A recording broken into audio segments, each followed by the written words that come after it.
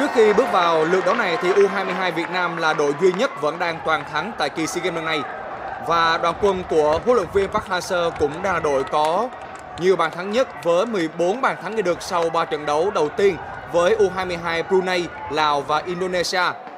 Và bây giờ chúng ta hãy cùng đến với đội hình ra quân của U22 Singapore gồm có số 18 đó là thủ thành Muhammad Zafan, số 3 Mohammad Irfan, số 4 Rihan Griffin, số 7 Zulkarnaen, số 12 Muhammad Siarun, số 27 là Tajeli, số 6 Jacob William, số 11 Haikan Basia, số 17 đội trưởng đó là Irfan Fandiamas, số 10 Muhammad Haris và số 9 là Iksan Fandiamas.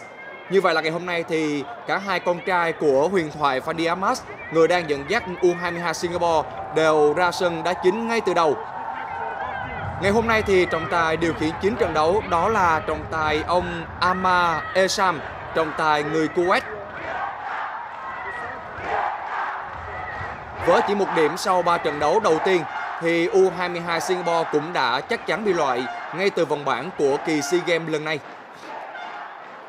Và đây là đội hình ra quân của U22 Việt Nam gồm có số 30 đó là thủ thành Nguyễn Văn Toản, số 6 Lê Ngọc Bảo, số 21 Nguyễn Đức Chiến, số 18 Nguyễn Thành Trung, số 4 Hồ Tấn Tài, số 7 Triệu Việt Hưng, số 11 Trần Thanh Sơn, số 5 Đoàn Văn Hậu, số 14 Nguyễn Hoàng Đức, số 19 Nguyễn Quang Hải đội trưởng và số 9 tiền đạo Hà Đức Chinh. Như vậy là so với trận đấu gần nhất với Indonesia thì ngày hôm nay U22 Việt Nam đã có 6 sự thay đổi. Đó là Văn Toản bắt thay cho Tiến Dũng, Ngọc Bảo đã thay cho Thanh Thịnh, Đức Chiến thay Tấn Sinh, Việt Hưng thay Hùng Dũng, Thanh Sơn thay cho Trọng Hoàng và ở cao nhất thì Đức Chinh thay cho Tiến Linh. Ông Fadi Ahmad chính là huyền thoại của bóng đá Singapore.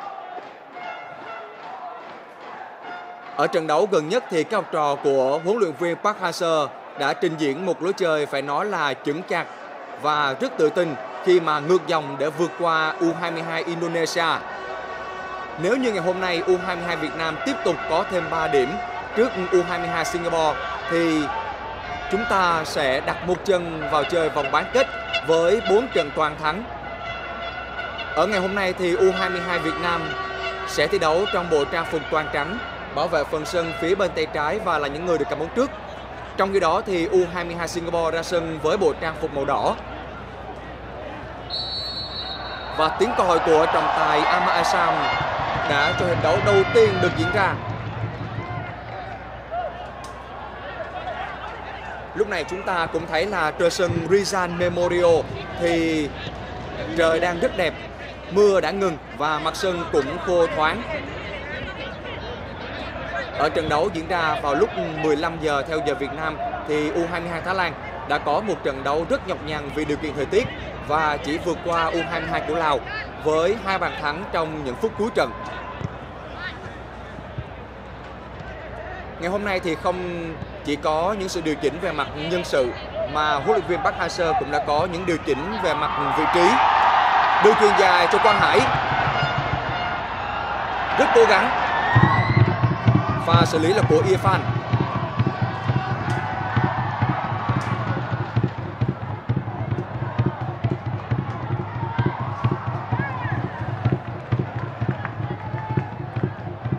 Vậy là có vẻ như đúng vào phút cuối cùng thì huấn luyện viên Park Hang-seo đã có những sự điều chỉnh. Chúng tôi nhận thấy là số 8 tiền vệ Trọng Hoàng cũng đang đá chính ngày hôm nay.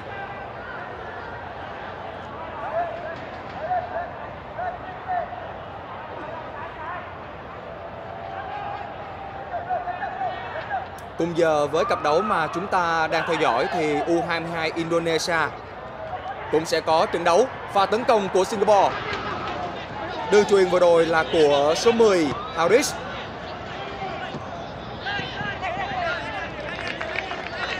Sẽ có quả ném biên dành cho U22 Singapore.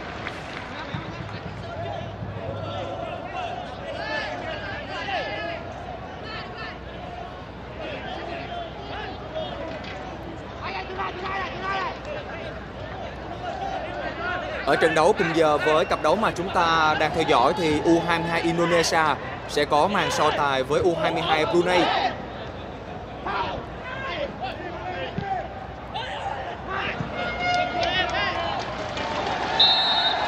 Vừa rồi đã có tình huống việt vị của số 9 là Isan Fandiamas. Ngày hôm nay thì U22 Singapore đang thi đấu với đội hình là 541. Người đang đá cao nhất đó chính là số 9 isan Fandiamas. Cũng như trong trận đấu gặp Indonesia, chúng ta cũng thấy là U22 Việt Nam đang nhập cuộc một cách chậm rãi. Thành Trung.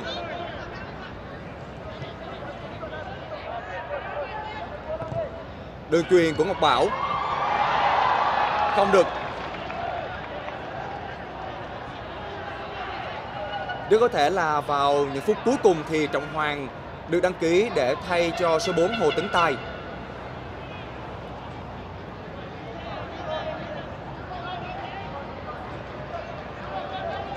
Đến thời điểm này thì U22 Singapore vẫn đang trình diễn một lối chơi không thực sự tốt tại SEA Games lần này.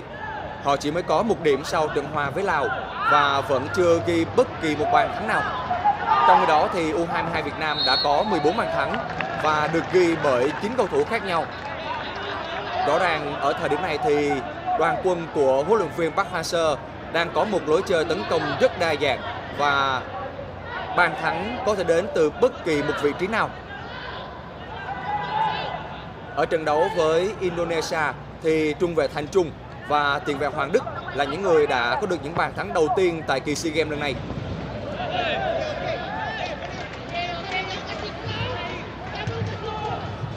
Lúc này thì Iksan Fadiamas đang là cầu thủ duy nhất của Singapore thi đấu tại châu Âu và anh đang đầu quân cho câu lạc bộ là Raufoss của Na Uy.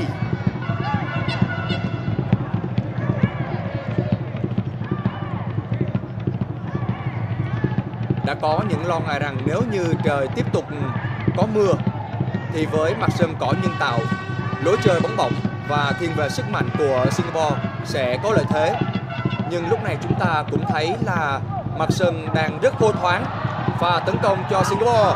Tình huống đột phá của Basia như vậy là sẽ có một quả đá phạt dành cho U22 Singapore. Người đã phạm lỗi đó là Triệu Việt Hưng. Tại kỳ SEA Games lần này thì Việt Hưng cũng đã có được bàn thắng vào lưới của U22 Brunei ở trận đầu tiên.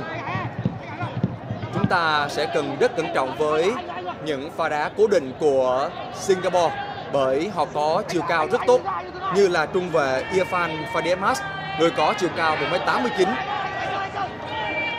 lúc này đội trưởng Irfan Fadimas của Singapore cũng lên tham gia tấn công. Ngoài ra thì tiền đạo số 9 là Iksan Fadimas cũng có chiều cao 1m83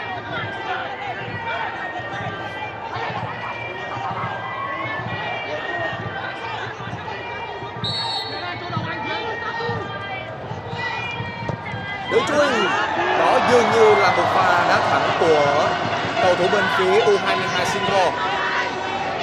Người có đường truyền đó là số 10 Muhammad Haris.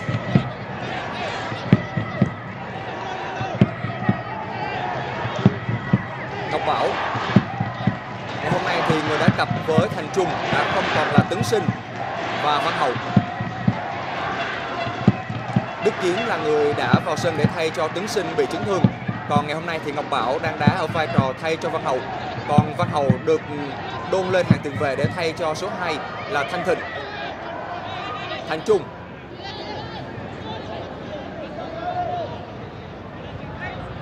Văn Hậu. Chắc chắn là sau khi được đẩy lên chơi ở vị trí tiền vệ thì những pha dâng cao của Văn Hậu sẽ rất đáng lưu tâm. Đức Chiến. Đưa truyền cho Hà Đức Chinh. Trọng Hoàng. Như vậy là bóng đã chạm tay của Harris.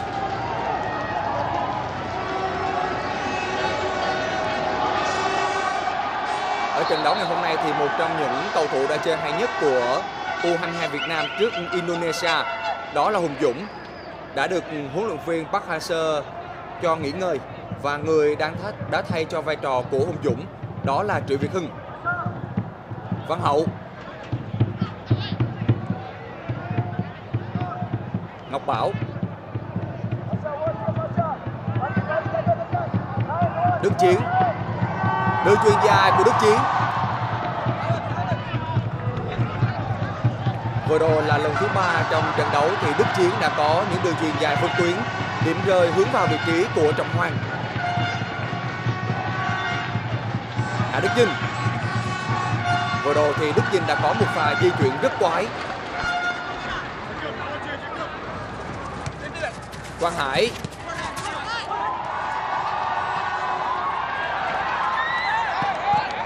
Tình huống qua người là khá khéo của Đức Chiến. Chỉ tiếc là đường truyền lại không thành công lúc này thì đội hình của U22 Việt Nam đang từng bước dâng cao hơn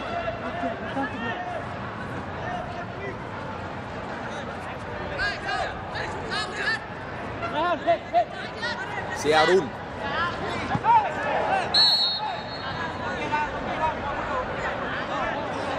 Ngày hôm nay thì bên phía U22 Singapore cũng đã có 3 sự thay đổi so với trận đấu gần nhất với Thái Lan.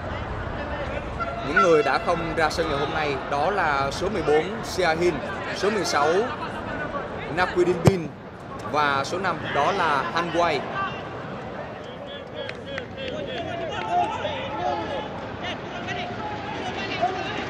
Trong 3 trận đấu đầu tiên thì chúng ta cũng thấy là lối chơi của Singapore vẫn là có phần khá đơn giản Họ chỉ tập trung bóng bổng vào vị trí của Ivan Van Dietmars và thiếu đi những ý tưởng mang tính đột biến trong các pha tấn công khác. Đoàn Văn Hậu. Thành Trung.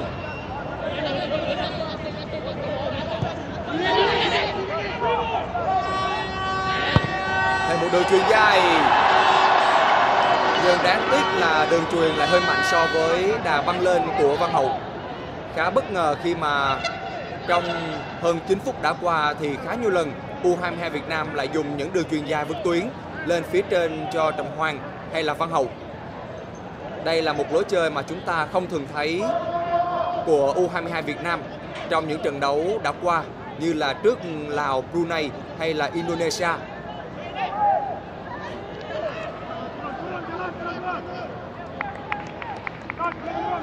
Đến lúc này thì vẫn chưa có một pha dứt điểm nào đáng chú ý, được tạo ra về phía khung thành của Muhammad Zafan cũng như là Nguyễn Văn Toản.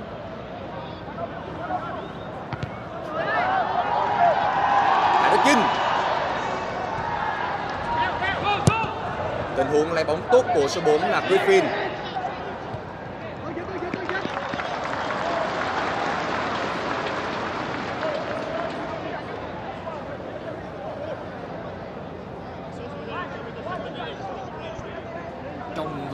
thời gian 10 phút vừa qua, mặc dù là đội bóng được đánh giá cao hơn, nhưng các cầu thủ của luyện viên Park Hang-seo vẫn đang nhập cuộc một cách cẩn trọng. Họ vẫn đang dành cho các cầu thủ U22 Singapore một sự tôn trọng nhất định. Đó cũng luôn là một yếu tố cần thiết. Tất cả các trận đấu mà huấn luyện viên Park Hang-seo dẫn dắt các lứa đội tuyển của bóng đá Việt Nam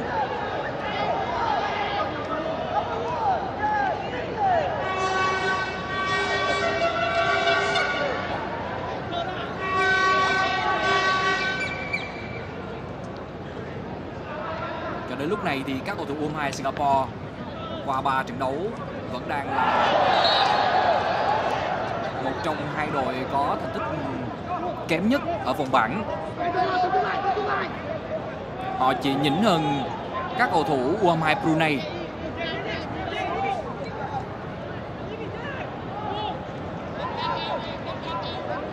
trong trận đấu ra quân của mình gặp U22 Lào, thì các cầu thủ trẻ của huấn luyện viên Phan Iamat có rất nhiều cơ hội có thể ghi bàn, nhưng họ lại bỏ lỡ rất đáng tiếc.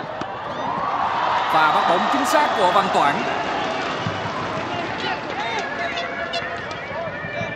Tại SEA Games lần này thì Văn Toản cũng đã phải nhận một bàn thua. Đó là trận đấu mà đội tuyển U22 Việt Nam đã có chiến thắng 6-1 trước U22 Lào. Điều chuyền là của Hoàng Đức.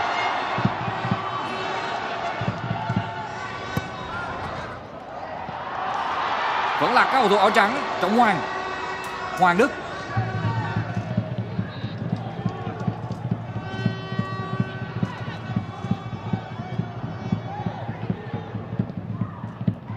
Không được. Các cầu thủ u hai Singapore đang dồn đội hình của mình về khá thấp trên phần sân nhà. Ngay trước khung thành của thủ môn Gia Phan Văn Hậu.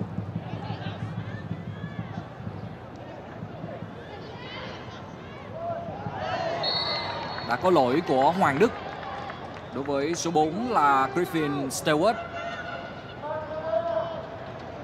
chắc hẳn đến thời điểm này thì nhiều người hâm mộ bóng đá Việt Nam vẫn còn nhớ như hình bàn thắng ấn định chiến thắng 2-1 của Hoàng Đức vào lưới của Mai Indonesia ở lượt trận thứ ba vừa qua. Đó, nhiều khả năng cũng sẽ là một trong những bàn thắng mà cầu thủ này sẽ rất nhớ trong sự nghiệp của mình.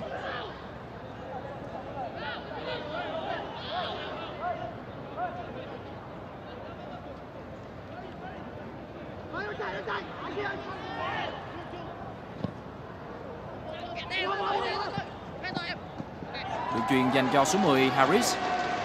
Hiện tại thì các cầu thủ U22 Singapore vẫn đang chơi với sơ đồ là 4-5-1 khi phòng ngự và 4-4-2 khi dâng lên tấn công.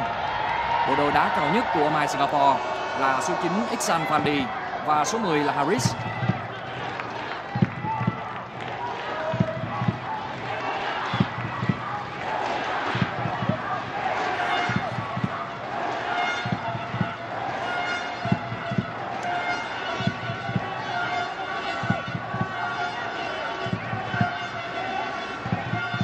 Quang Hải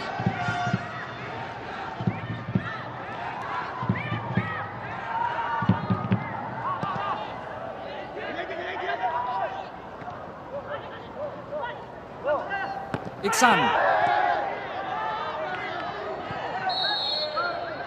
trọng tài người Kuwait Askanani đã thổi phạt các cầu thủ U22 Việt Nam và trọng tài người Kuwait cũng đã rút ra một chiếc thẻ vàng, chiếc thẻ vàng đầu tiên trong trận đấu dành cho Đức Chiến.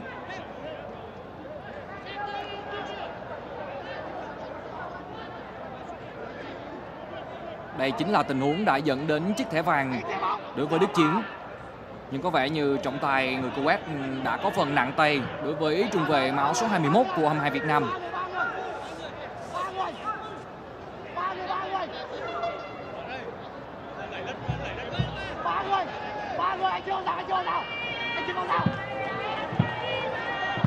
Đứng trước bóng đang là đội trưởng Ivan Fandiamat Con trai của huấn luyện viên trưởng đội tuyển U22 Singapore, Đó là Fandiamat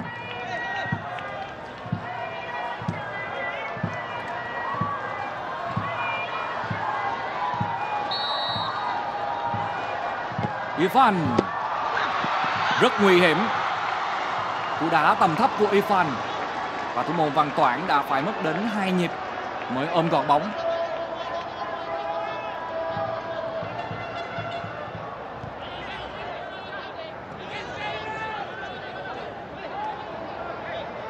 Những tình huống cố định luôn được các cầu thủ trẻ của Singapore rất muốn tận dụng tại giải đấu lần này.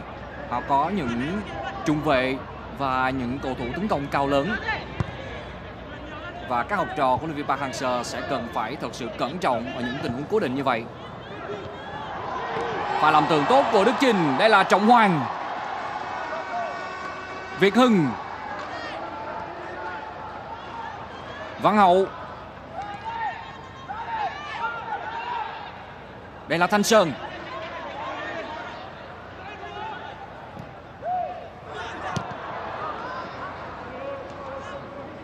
Vừa rồi có lẽ là tình huống chủ động bỏ bóng của Quang Hải. Đức Chiến.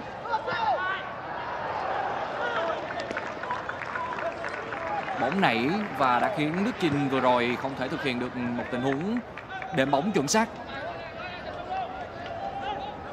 Cho đến thời điểm này tại SEA Games 30 năm 2019 ở Philippines thì Đức Chinh đã có cho mình 4 bàn thắng. Và đó đều là 4 bàn thắng vào lưới của U22 Brunei.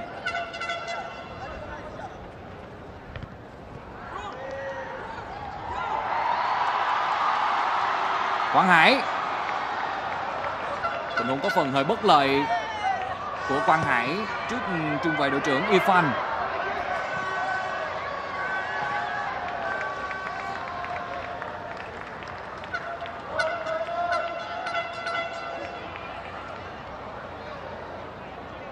lối chơi chủ đạo của các cầu thủ U22 Singapore vẫn là những đường chuyền dài. Quang Hải đang nằm sân chắc chắn đây cũng là những hình ảnh rất đáng lo cho huấn luyện viên Park Hang-seo. Hy vọng rằng chấn thương đối với Quang Hải là không quá nặng.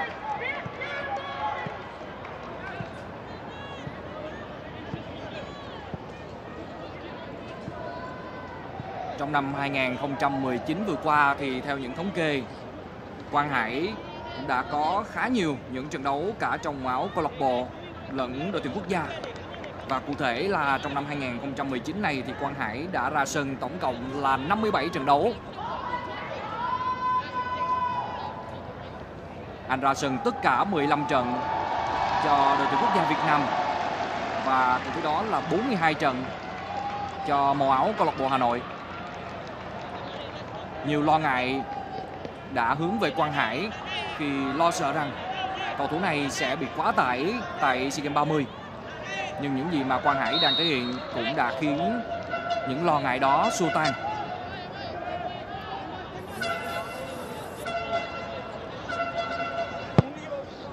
Có lẽ Quang Hải vẫn sẽ tiếp tục thi đấu trên sân Rizal Memorial.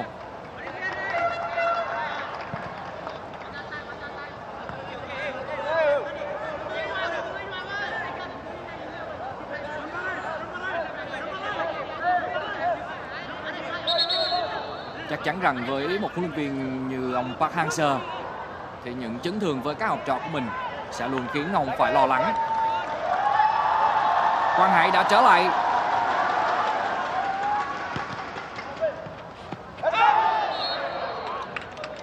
Trọng tài xác định bóng chạm tay của Trọng Hoàng.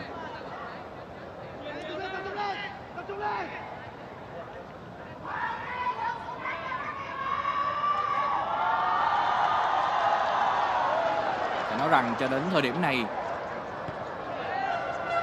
các cầu thủ U22 Singapore vẫn đang chơi rất quyết tâm. Một tình huống khá giống với bàn thua vừa qua mà Bùi Tiến Dũng đã phải nhận trong trận đấu gặp u Indonesia. Nhưng lần này thì Văn Toản đã chơi rất an toàn.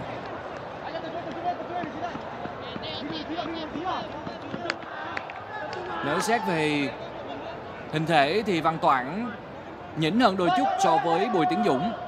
Văn Toản có chiều cao khá ấn tượng là 1m85.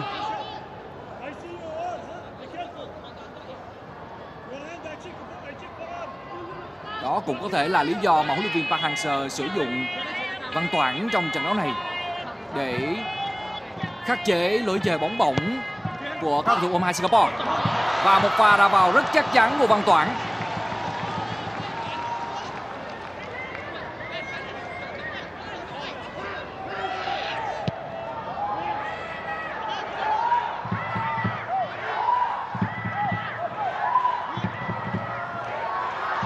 De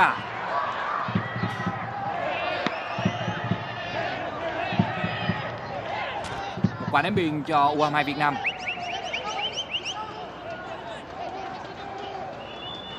Hùng Dũng đang được gần nhắc đưa vào sân. Rất có thể là huấn luyện viên Park Hang-seo muốn có một quyết định thật sự cẩn trọng về trường hợp chấn thương vừa qua của Quang Hải và vị huấn luyện viên người Hàn Quốc sẽ muốn bảo toàn lực lượng của mình cho trận đấu quan trọng tiếp theo.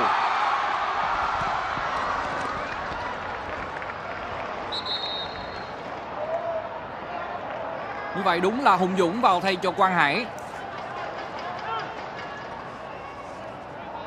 Một sự thay đổi người bắt buộc khi trận đấu chỉ mới diễn ra được hơn 20 phút đến từ huấn luyện viên Park Hang-seo.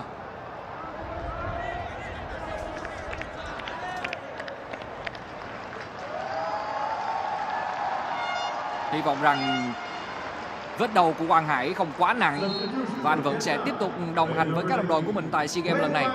Và trước mắt sẽ là trận đấu quan trọng gặp U22 Thái Lan ở lượt trận cuối của bảng B.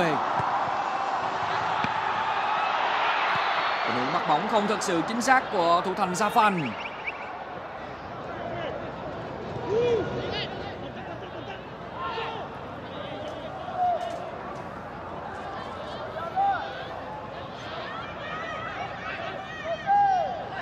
Đoàn Văn Hậu Rõ ràng là hành trình hướng đến tấm huy chương vàng tại kỳ SEA Games lần này của U22 Việt Nam vẫn còn là một chặng đường khá dài và tất nhiên viên tỉ mỉ như là Park Hang-seo thì ông cần phải có những toan tính thật kỹ lưỡng cho từng trận đấu. Lúc này thì chúng ta vẫn đang có những ưu thế về mặt điểm số và hiệu số tại bảng B. Và một trận đấu hướng đến chiến thắng trước Singapore nhưng vẫn đảm bảo về thể lực và lực lượng là điều rất quan trọng. Và đó cũng là lý do vì sao mà lúc này U22 Việt Nam vẫn đang nhập cuộc một cách chậm rãi. Chúng ta không cần phải quá vội vàng khi mà thời gian vẫn còn rất dài. Hải Đức Chinh, Hùng Dũng. Chắc chắn là sau khi Hùng Dũng vào sân thì tuyến giữa của U22 Việt Nam sẽ cầm bóng tốt hơn.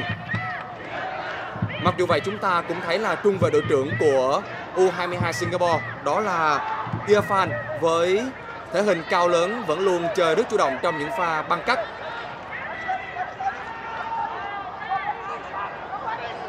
Thành Trung. Nguyễn Văn Toản. Triệu Việt Hưng. U22 Việt Nam vẫn chưa tạo ra một pha lên bóng nào thực sự đáng kể về phía phần sân đối phương. Mặc dù vậy thì chúng ta vẫn đang tạo ra một thế trận an toàn và vững chắc ở phần sân nhà. Thành Trung Đức Chiến Ở phần sân nhà thì bộ ba Thành Trung, Đức Chiến và Ngọc Bảo rất thường xuyên kết nối với nhau bằng những đường truyền ngắn. Văn Hậu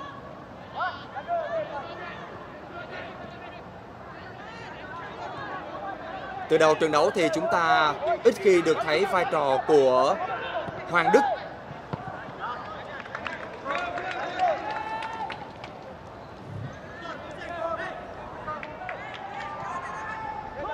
Hơn phân nửa thời gian hiệp đấu đầu tiên đã trôi qua và thế trận vẫn đang có phần cân bằng. Hà Đức Chinh. Một lần nữa chúng ta được thấy sự chủ động của Ifan. Cơ hội tấn công cho Singapore. Một tình huống mà Đức Chiến đã can thiệp rất kịp thời. Rất đáng tiếc cho pha tăng tốc vừa rồi của Hùng Dũng. Một chút nữa thì chúng ta đã kịp thời lấy bóng và tạo ra một pha tấn công.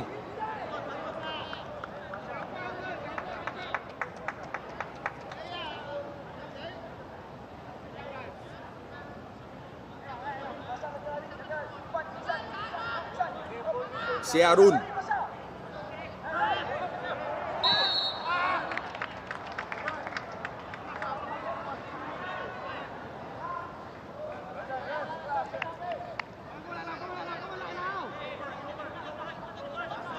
Tiếp tục là một tình huống đá phạt của số 12 Sigarun.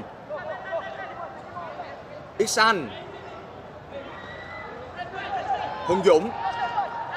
Cơ hội tấn công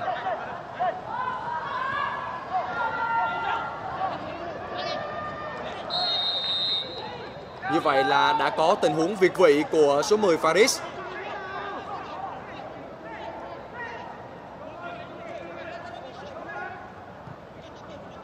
Thành Trung.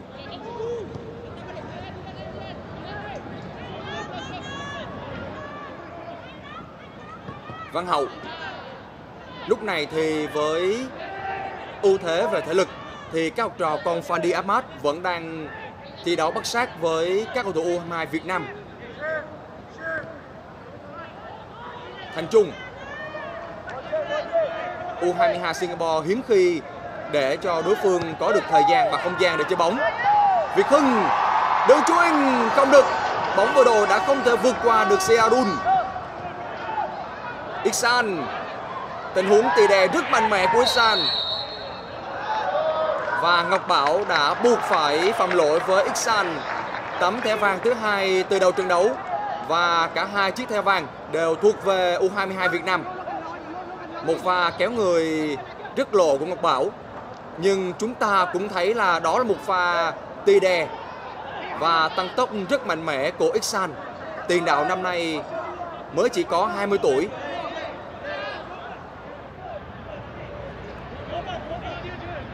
khi mà những pha tấn công của U22 Singapore vẫn chưa thực sự nhịp nhàng, thì những pha bóng cố định như thế này sẽ là rất đáng lưu tâm.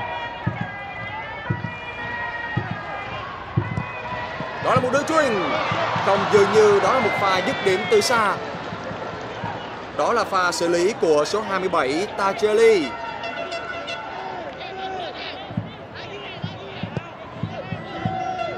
Đến lúc này thì tình huống đáng kể nhất mà U22 Singapore tạo ra, đó vẫn là đường truyền của Faris và khiến cho Ngọc Toản phải để bóng hết đường biên ngang. Đức Chiến Hùng Dũng. Vẫn là Hùng Dũng. Đưa truyền cho Đức Chinh. Vẫn rất khó để vượt qua hàng phòng ngự chơi tập trung của U22 Singapore.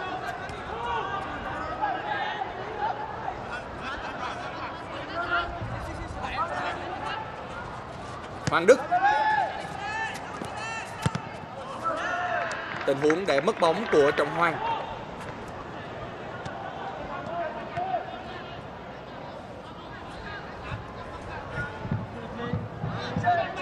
ta cũng đã thấy rõ được lý do mà huấn luyện viên Park Hang-seo buộc các học trò của mình phải chơi thật sự cẩn trọng cho đến thời điểm này.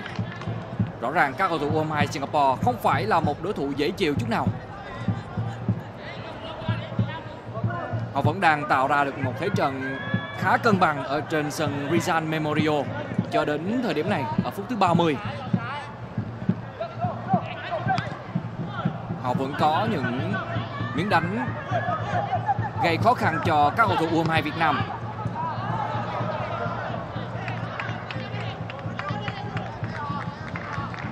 Các học trò của luyện viên Park Hang-seo hiện tại đang có được thành tích toàn thắng qua 3 trận đấu. Có được 9 điểm với ngôi đầu bảng B. Nhưng rõ ràng là họ không được phép chủ quan.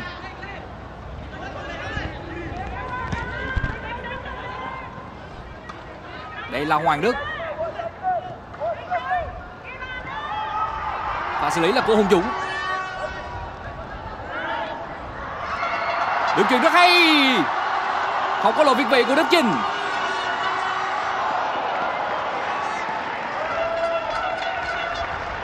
Một pha băng ra rất nhanh của hậu vệ cánh trái Siarun.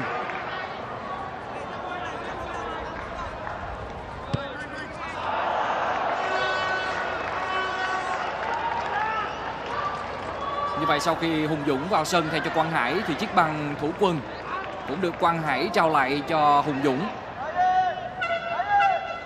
Và tiền vệ máu số 16 Đỗ Hùng Dũng cũng đang chơi đúng vào vị trí mà Quang Hải để lại.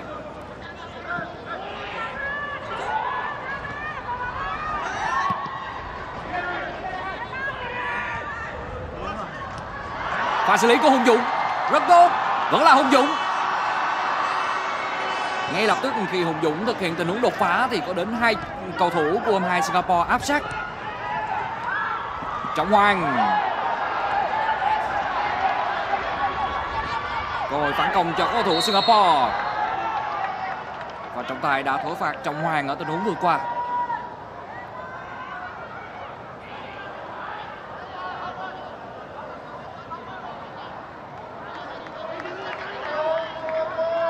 Hoàng vẫn luôn là một nhân tố hết sức quan trọng trong mọi kế hoạch của huấn luyện viên Park Hang-seo.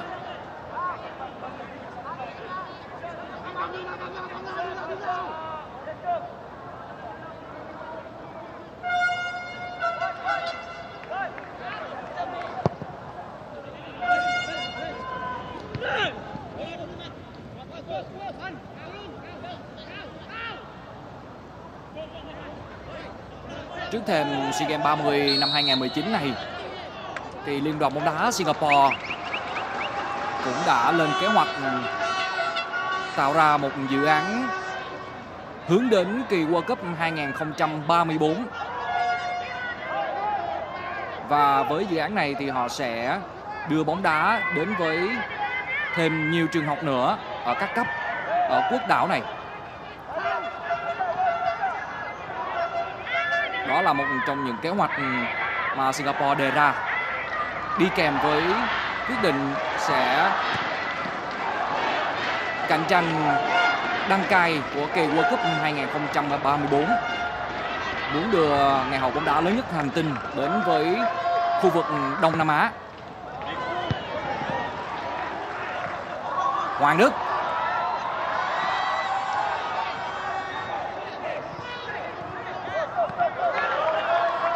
Siarun. Iksan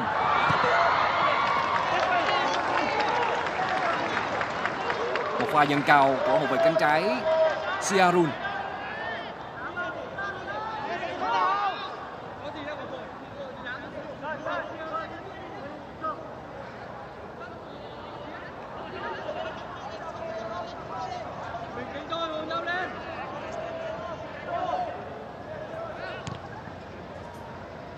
Siarun Pasia Và xử lý kỹ thuật của Pasia Tiếp tục là Siarun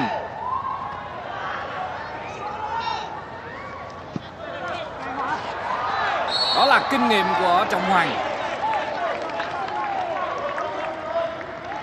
Bộ đội Siarun và Pasia vừa rồi của Hoàng Mai Singapore đã chơi khá quyết tâm pha bóng mà mình có được bên hành lang cánh phải của đội tuyển U22 Việt Nam.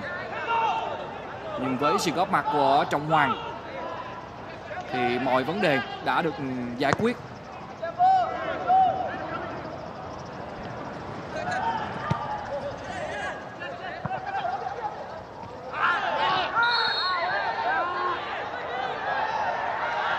Lại thêm một cầu thủ của U22 Việt Nam phải nằm sân và lần này đó là trung vệ Đức Chiến. Một pha băng vào rất quyết liệt của cầu thủ mạo số 11 là Pasia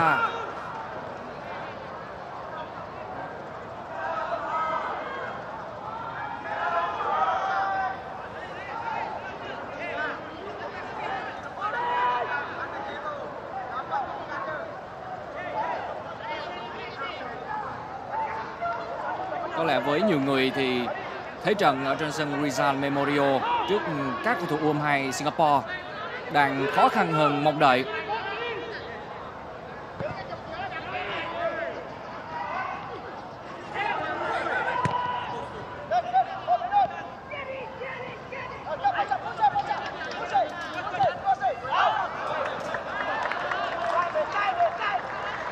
Đó là đường truyền của Đức Chiến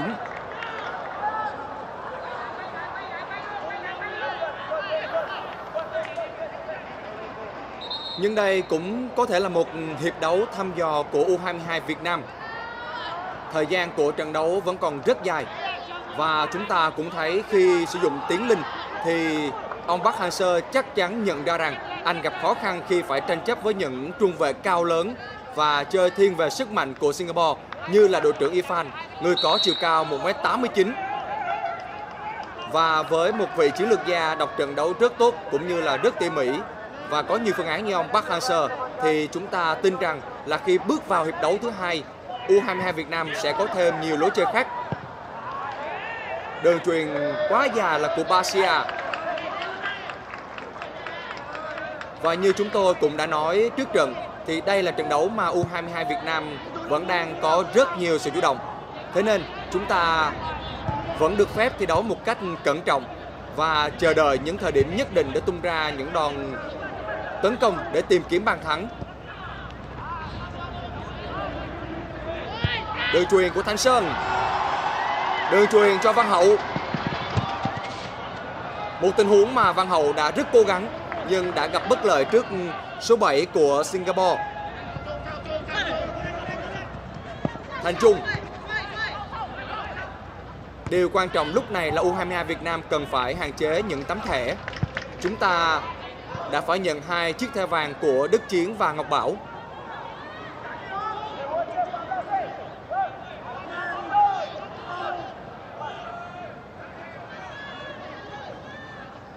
Văn Hậu. Hà Đức Chinh Rất tốt. Cơ hội lên bóng dành cho ôm hai Việt Nam. Những pha phối hợp rất nhịp nhàng Nhưng đáng tiếc đường truyền cuối cùng Dành cho Hoàng Đức thì lại hơi sâu có cảm giác là những đường truyền dài vượt tuyến của U22 Việt Nam vẫn chưa có cảm giác tốt nhất. Khi còn là cầu thủ trong ông Fadi đã ghi 55 bàn thắng cho tuyển Singapore và chỉ một trong số đó vào lưới tuyển Việt Nam. Đó là trong chiến thắng 3-2 tại vòng loại World Cup 2 năm 1994.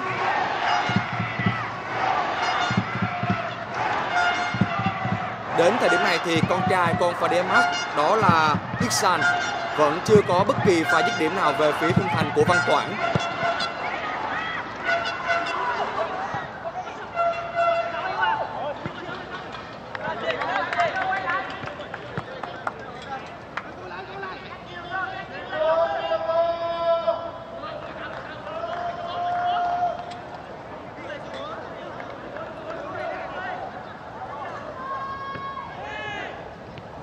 Basia Ở trận đấu cùng giờ thì U22 Indonesia đang tạm thời dẫn trước U22 Brunei với tỷ số là 1-0.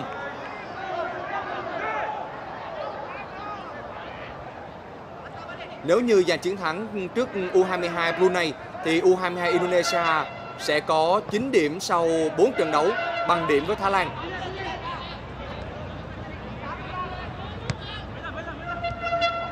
Thanh Sơn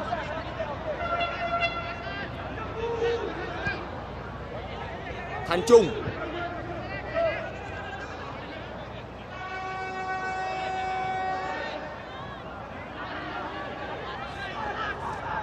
Vẫn là cách lên bóng chậm rãi của U22 Việt Nam.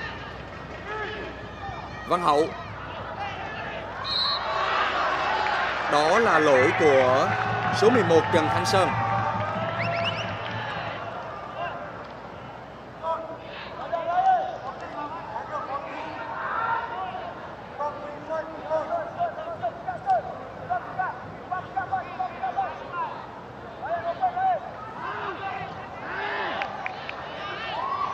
Zafan Tiếp tục là những đường truyền dài lên phía trên của Zafan cho Xan cũng như là số 11 là Pasia.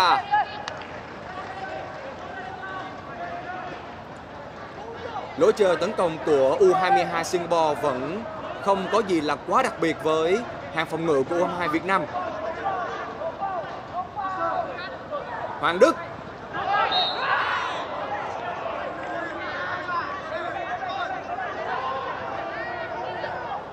rất khó khăn để đột phá khi mà vây quanh của Hoàng Đức là rất đông. Cầu thủ U22 Singapore. Ngọc Bảo. Thêm một đường chuyền dài. Văn Hậu.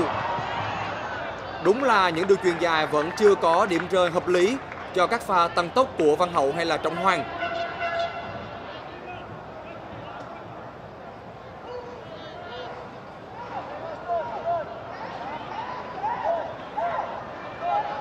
Một hiệp đấu mà thủ thành Zafan vẫn chưa phải làm việc quá nhiều khi mà U22 Việt Nam vẫn đang chơi một cách chậm rãi.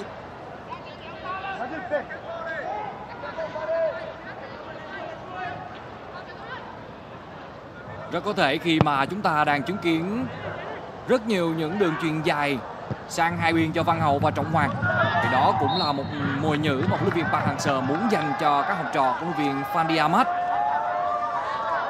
đó không phải là những miếng đánh chủ đạo mà chúng ta vẫn thường thấy từ các đội bóng dưới thời huấn luyện viên Park Hang-seo.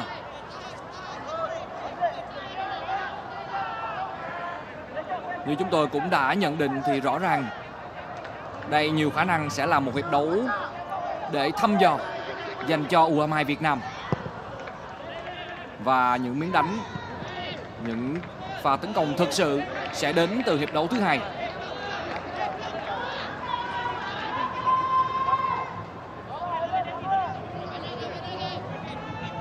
Đây đã là phút thứ 42 màn so tài giữa U22 Việt Nam và U22 Singapore.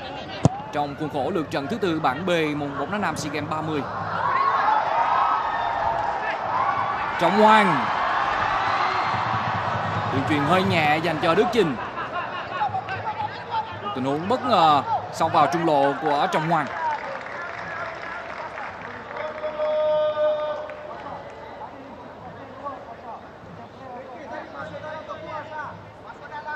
Những pha tăng tốc của các cầu thủ U22 Việt Nam vẫn chưa thực sự đạt mức tối đa.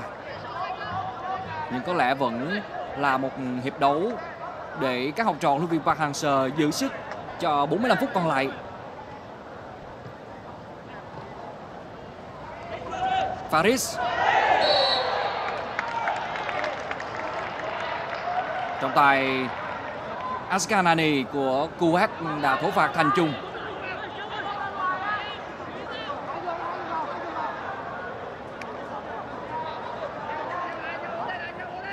trận đấu gần nhất gặp U22 Indonesia thì Thiền Trung cũng phải nhận một thẻ vàng từ rất sớm những điểm nhấn của trung vệ này đó chính là bàn thắng gỡ hòa một đều vào lưới của U22 Indonesia để mở ra một màn ngược dòng đầy ấn tượng của các học trò huấn viên Park Hang-seo.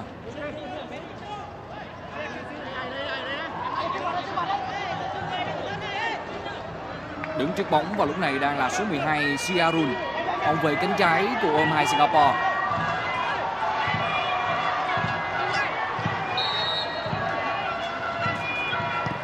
Đường truyền. Đường truyền vừa rồi đã không thể vượt qua được Triệu Việt Hưng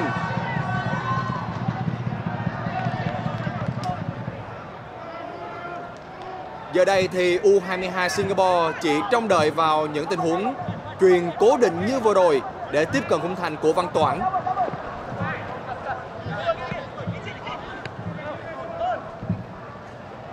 Đây đã là phút thi đấu chính thức cuối cùng của hiệp đấu đầu tiên.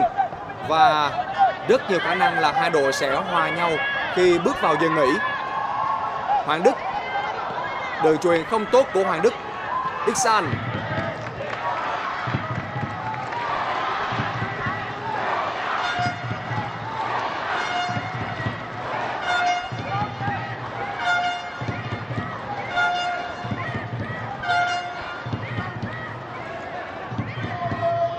Siarun Paris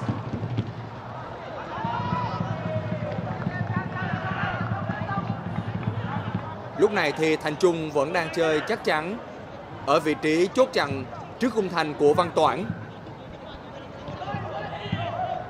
Gần như tất cả những pha lên bóng của Singapore đều không thể vượt qua được trung vệ này. Hải Đức Chinh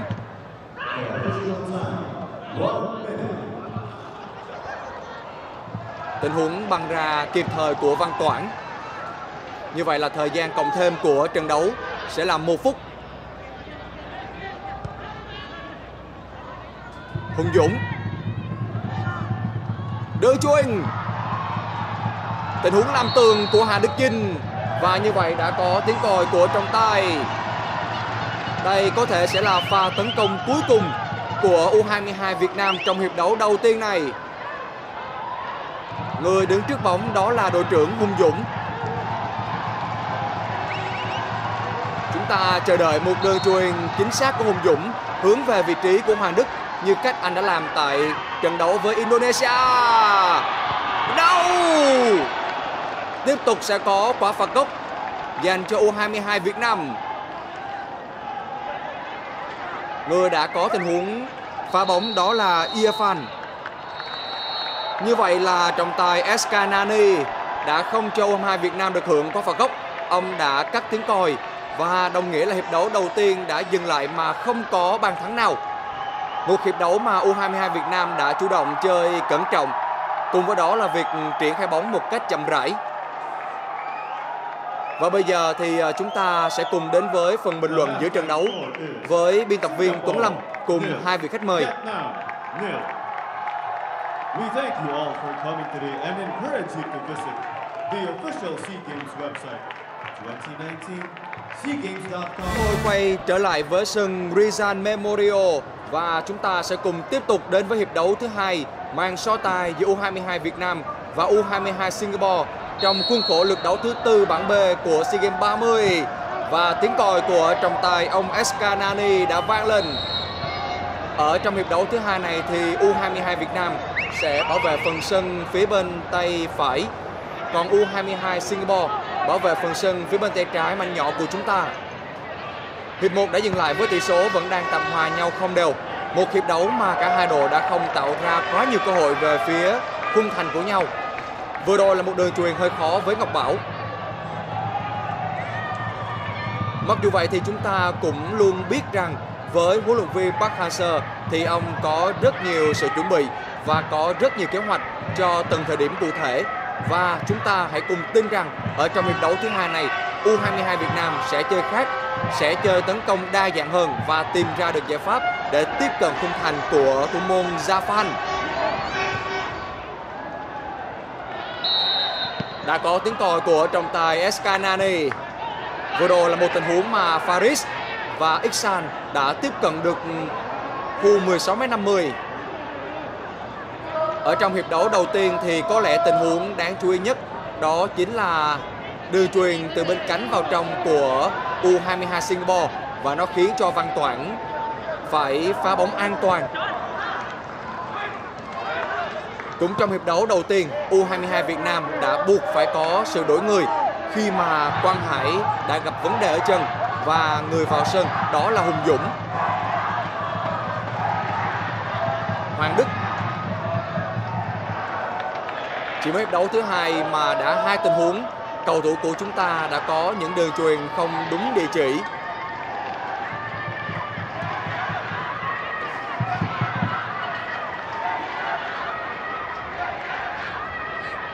ở trong hiệp đấu đầu tiên, khi mà U22 Việt Nam đã chủ động chơi chậm, thì những pha tấn công của U22 Singapore vẫn chưa tạo ra khác biệt bởi lối chơi có phần đơn giản.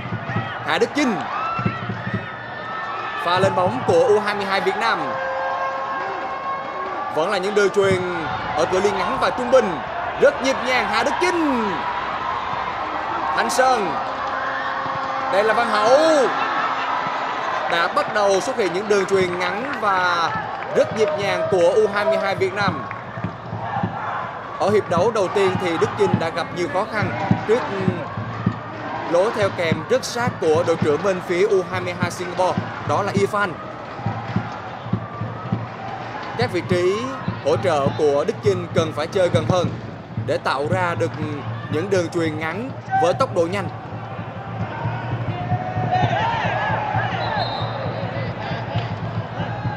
Tình huống dâng cao vừa rồi là của số 6 Jacob Williams.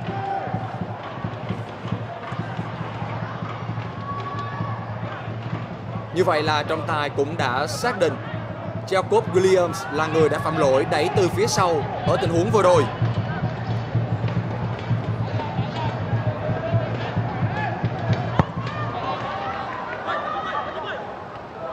Khi chọn Hà Đức Chinh là người đá cao nhất ở trận này, thì chắc chắn là huấn luyện viên Park Hang-seo đã tính đến những pha tấn công trung lộ và những đường tấn công ở tầm thấp chứ không phải là những pha tấn công ở tầm cao khi mà đối phương có những rất cao lớn tốc độ và khả năng di chuyển rộng của Hà Đức Chinh sẽ khiến cho hàng thủ của Singapore gặp nhiều khó khăn trong việc theo kèm và phán đoán hướng tấn công của U22 Việt Nam. Vừa rồi là lỗi của số 11, đó là Basia.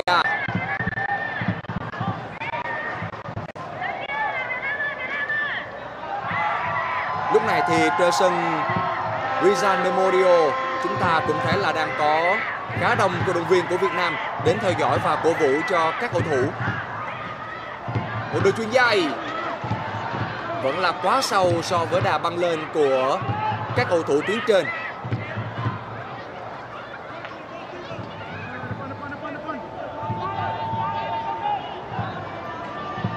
Đầu của hiệp 2 chúng ta cũng đã bắt đầu thấy sự xuất hiện của những pha bàn bật nhỏ và nhuyễn giữa các cầu thủ áo trắng của U22 Việt Nam.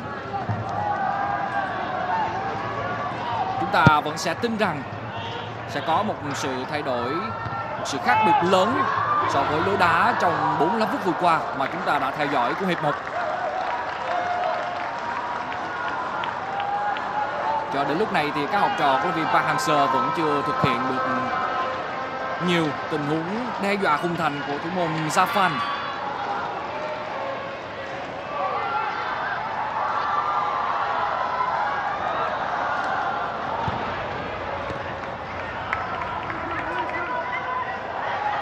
Và can thiệp kịp thời của Đức Chiến.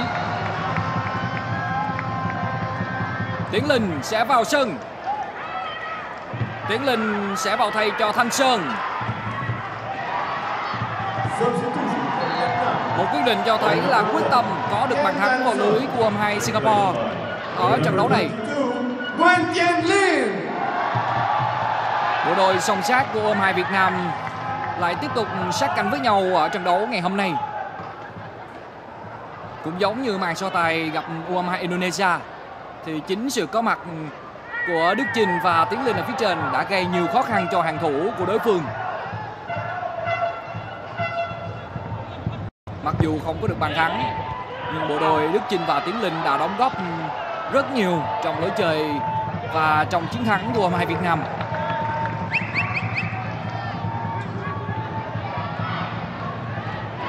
việc bố trí bộ đội Tiến Linh và Đức Trinh trên hàng công cũng không nằm ngoài dự đoán đến từ vị huấn luyện viên người Hàn Quốc. Cả hai cho đến thời điểm này đã có 7 bàn thắng tại SEA Games 30 bốn bàn của Đức Trình vào lưới của U22 Brunei và cú hat-trick của Tiến Linh vào lưới của U22 Lào.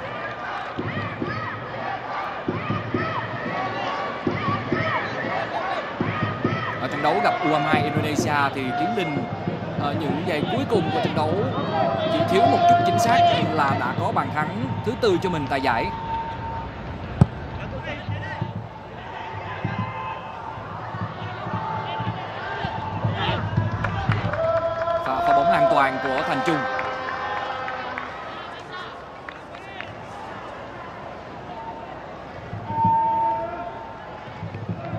khi mà Đinh Trọng không thể tham dự kỳ SEA Games 30 ở Philippines lần này, thì đó là cơ hội rất tốt để Thành Trung thực sự khẳng định được khả năng của mình.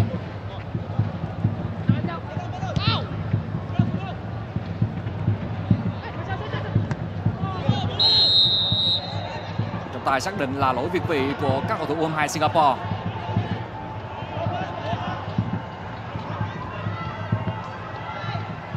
Cùng lúc này trên sân Binan thì trận đấu giữa U22 Indonesia và U22 Brunei đang có tỷ số là 4-0 nghiêng về cho các cầu thủ U22 Indonesia. Cơ hội cho Tiến Linh. Cơ hội! Và can thiệp của hậu vệ bên phía U22 Singapore, đó là Tajeli. Những khoảng trống ở hàng thủ của U22 Singapore đã bắt đầu lộ ra.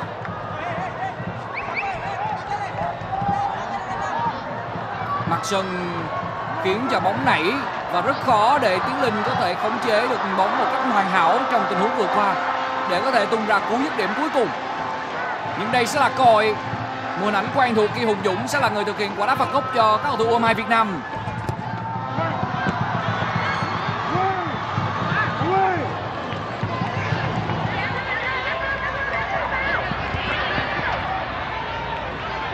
Rồi phản công cho các cầu thủ Singapore cái bóng là của Hoàng Đức. Tình huống lùi về rất nhanh của số 14 bên phía U22 Việt Nam. Và Hoàng Đức cũng đã đè bám rất sát pha đi bóng của Iksan và sẽ có một quả đánh biên cho các cầu thủ áo trắng.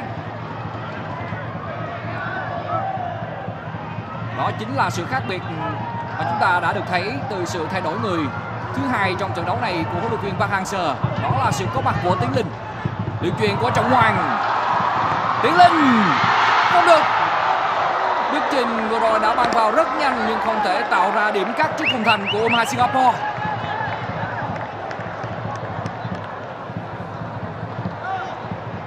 Sự có mặt của cả Tiến Linh và Hà Đức Trình đang buộc hàng thủ của U22 Singapore bị phân tán sự tập trung.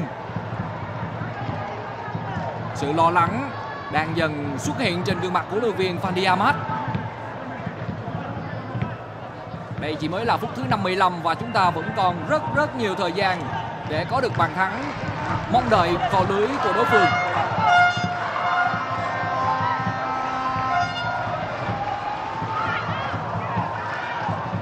Và chạm bóng của Zulkarnain.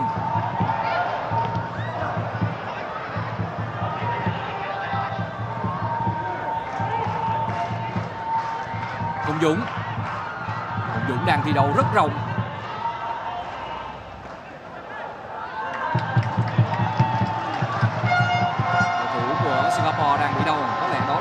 Cameroon một pha gài người rất kín của Hùng Dũng.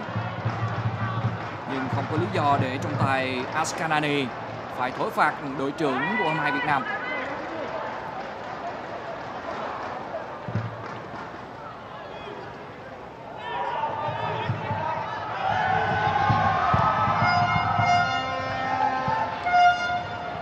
Và xử lý kinh nghiệm đến từ Thành Trung.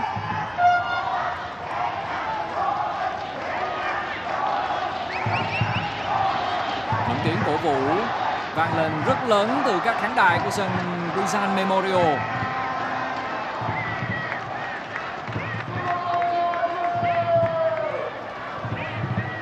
Chúng ta cũng thấy là sau khi vào sân thì Tiến Linh đã không chơi cắm như ở trận đấu với Indonesia, mà anh cũng đang di chuyển rất rộng, dạt ra hai cánh và trước đó ít phút thì chính Tiến Linh là người có pha dạt cánh, cùng với đó là một đường truyền tầm thấp vào trong cho Hà Đức Chinh rõ ràng chúng ta đã thấy được những điều chỉnh, những sự khác biệt của U22 Việt Nam khi bước vào hiệp đấu thứ hai này Hoàng Đức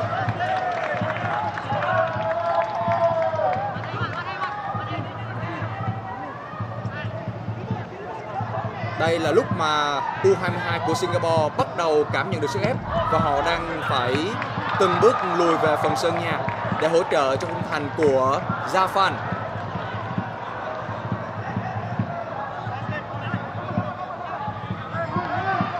Văn Hậu. Truyền Việt Hưng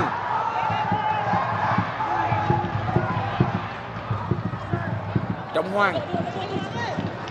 Vẫn là trọng hoàng. Hùng dũng. Đưa chuyên rồi, qua đem tiếc cho pha dứt điểm của đoàn văn hậu.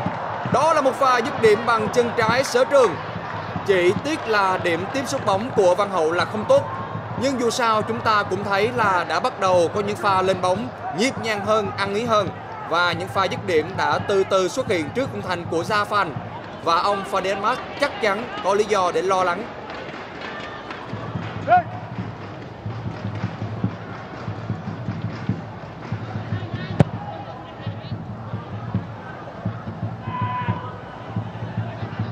Trọng Hoàng rất cố gắng nỗ lực của Trọng Hoàng đã mang đến tổ tấn công cho U22 Việt Nam.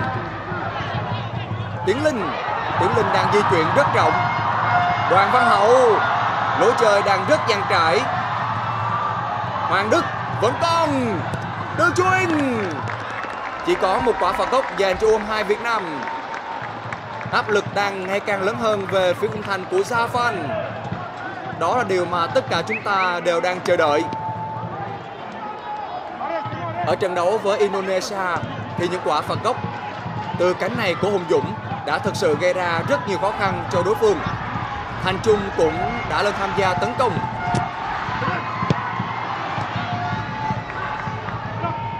Cơ hội lên bóng dành cho Singapore. Pha xử lý của Faris. Vừa rồi là tình huống mà toàn bộ đội hình của Singapore đã lùi rất sâu về phần sân nhà. Thế nên họ không thể tạo ra được một pha phản công. Tình huống tăng tốc người chiến thắng vẫn là đội trưởng Ifan.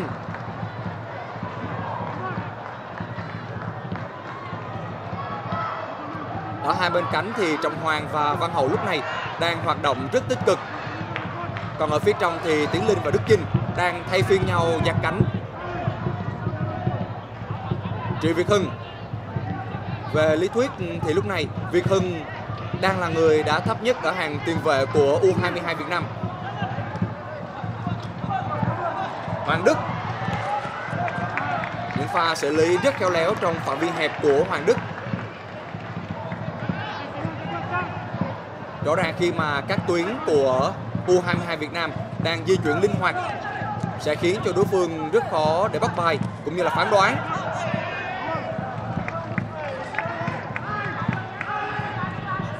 Như vậy sẽ có quả ném biên dành cho U22 của Singapore.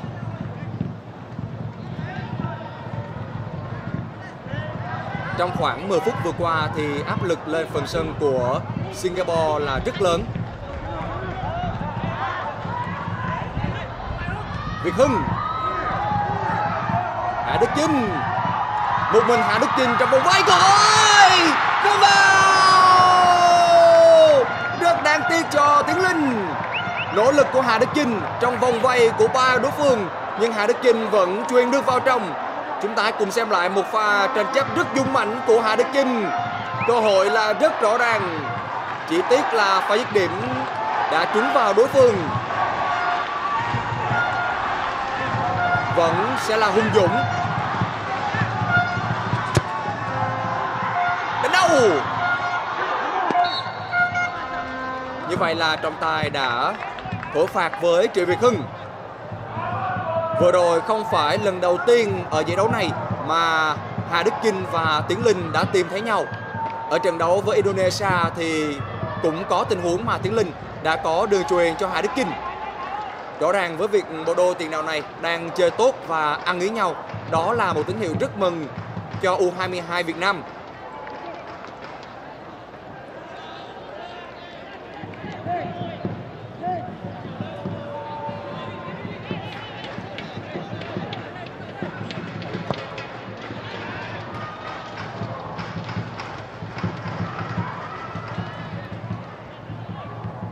Rằng ở thời điểm này thì các học trò của luyện viên Park Hang-seo đang nhận được rất nhiều sự tin tưởng đến từ người hâm mộ bóng đá nước nhà. Những gì mà U22 Việt Nam đang thể hiện ở thời điểm này đang giúp cho chúng ta tràn đầy niềm tin hơn bao giờ hết. Bóng đá Việt Nam sẽ có lần đầu tiên bước lên bục cao nhất của đấu trường SEA Games rồi là tình huống phạm lỗi của Văn Hậu. Đó là tình huống phạm lỗi đối với số 10 Faris của U22 Singapore. Sơ đồ 451 của huấn luyện viên Fadi Ahmad vẫn được duy trì cho đến thời điểm này của trận đấu.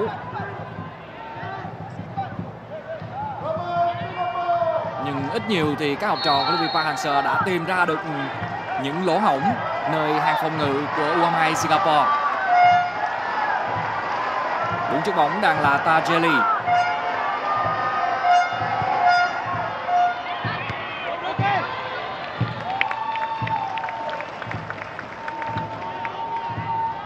Có lẽ các học trò của luyện viên Fadi Ahmad và cả tập thể ban huấn luyện của U22 Singapore cũng đã nghiên cứu rất kỹ và họ sẽ rất muốn sử dụng những tình huống cố định để gây sức ép lên khung thành của thủ môn Văn Toản ở trận đấu này.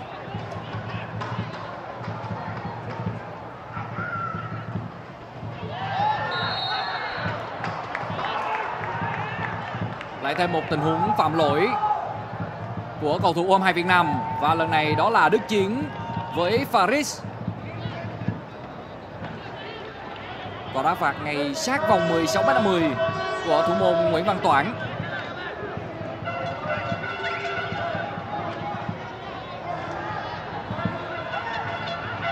Đây sẽ là thời điểm đòi hỏi sự tập trung cao độ từ các cầu thủ U22 Việt Nam.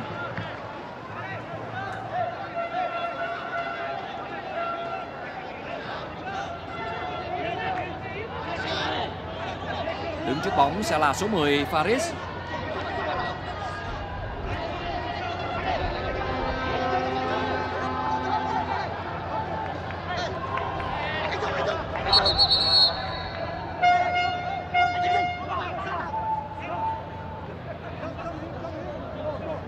trọng tài người Kuwait Askanani có đôi lời nhắc nhở với Irfan và Văn Hậu.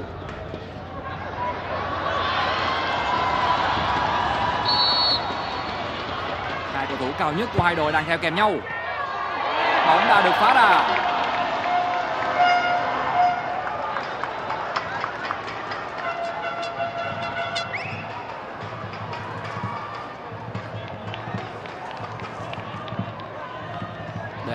Chế lại lối chơi bàn bật nhỏ đầy tốc độ của các cầu thủ U22 Việt Nam. Thì đội bóng đến từ đảo quốc sư tử U22 Singapore đang chơi với tốc độ khá chậm rãi. Và họ rất muốn có những thời điểm sẽ nhắm giảm nhịp trận đấu lại. Không có lỗi của Việt Hưng. Cơ hội phản công. Đây là Hùng Dũng. Và qua người của Hùng Dũng sức ép đã được ừ, các cầu thủ áo trắng U22 Việt Nam giải tỏa rất nhanh chóng.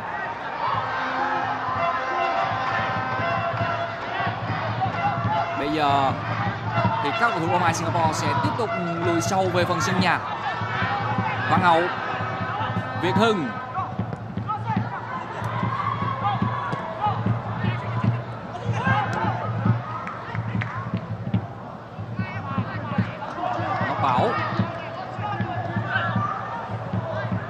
Văn Hậu.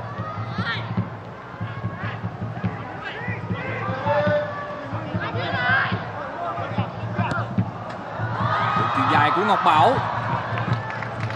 Chuyển hướng về pha di chuyển của Hà Đức Chinh.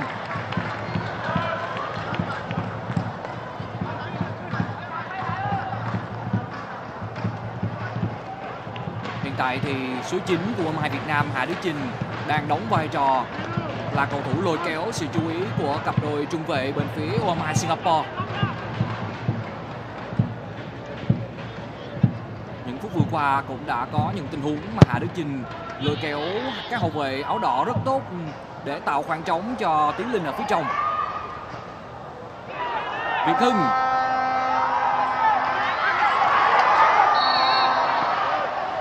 quả đá phạt dành cho U22 Việt Nam. Là tình huống phạm lỗi của số 7 là Zulkarnaen.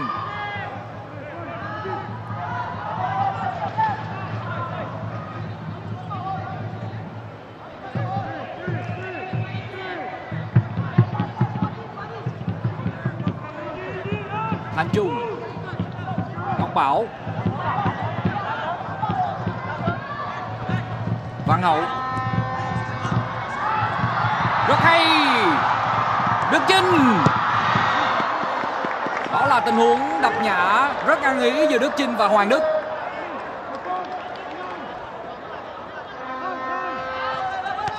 Văn Hậu. Xử lý của Trọng Hoàng. Đây là Tiến Linh.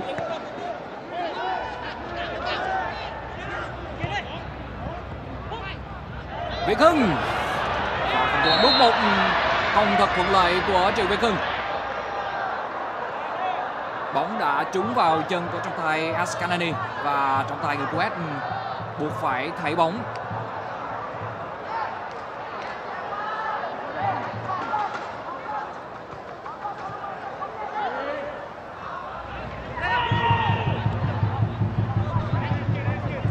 Siarun. Stewart vẫn là các cầu thủ U22 Singapore. Zulkarnaen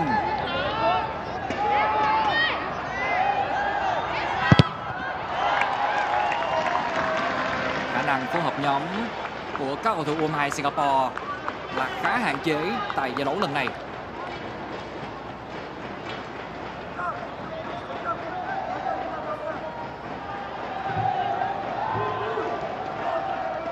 Đấu đã bước sang phút thứ 70 và tỷ số vẫn chưa được mở.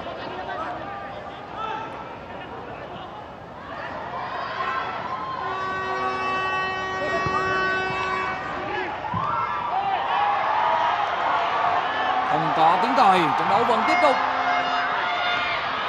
Và cũng không có gì khó khăn cho thủ môn Văn Toản. Trọng Hoàng tài xác định trọng hoàng đã để bóng đi hết đường biên dọc. Sự thay đổi người cuối cùng của các cầu thủ U22 Việt Nam ở trận đấu này. Ngọc Bảo là người rời sân nhiều chỗ cho Thanh Thịnh. Một sự tăng cường về tốc độ ở bên hành lang cánh trái đến từ huấn luyện viên Park Hang-seo Phan Thịnh là người đã đá chính trong trận đấu gặp U22 Indonesia.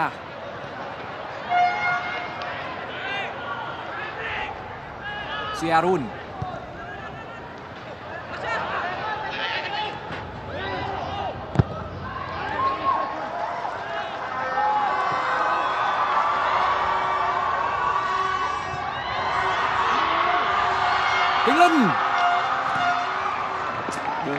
của Tiến Linh cho Thanh Thịnh lại hơi nhẹ.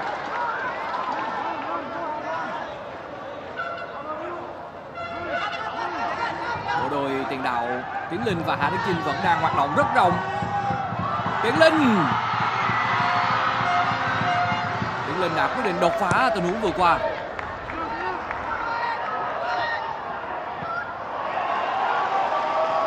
Tình huống buộc phải băng ra rất xa của thủ môn Văn Toản.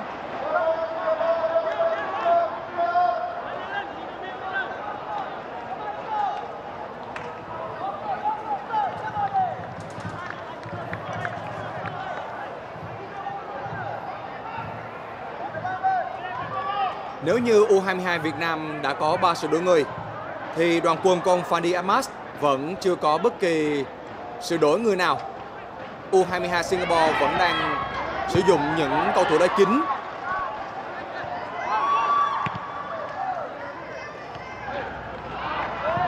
Tình huống xử lý không thành công là của Zulkarnaen. Nếu như trận đấu này dừng lại với tỷ số hòa một đều thì sau 4 trận đấu U22 Việt Nam sẽ có 10 điểm và chỉ hơn một điểm so với U22 Thái Lan và Indonesia. Trọng Hoàng, Hạ Đức Chinh, rất nhịp nhàng, đây là Hoàng Đức. Thanh Thịnh Đường truyền Nhưng đường truyền quá sâu của Thanh Thịnh. Trước đó thì số 2 của U22 Việt Nam đã có pha khống chế không tốt và đã khiến cho đường truyền trở nên khó khăn hơn. Phía trước của hai đội vẫn còn đến gần 20 phút nữa và đó vẫn là khoảng thời gian đủ để cho U2 Việt Nam tìm kiếm được bàn thắng vào lưới của Gia Phan.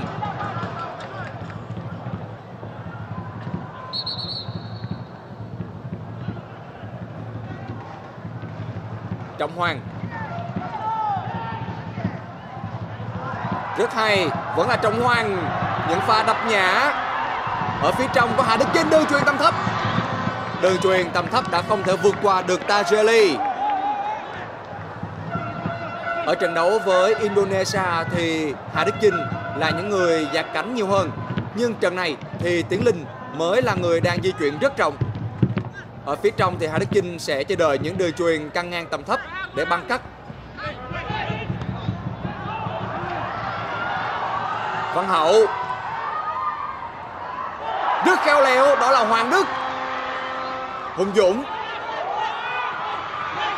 Rất đông, cầu thủ của U2 Singapore. Thanh Thịnh.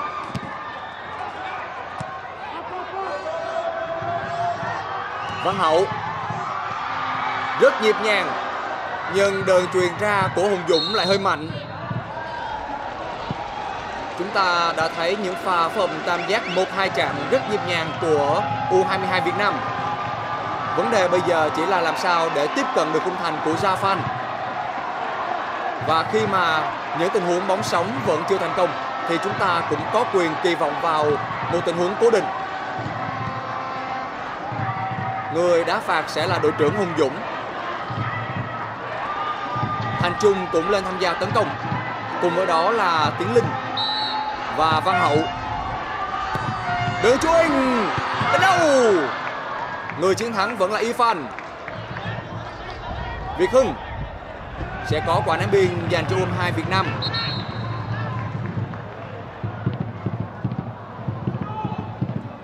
Người đang bị đau đó là Irfan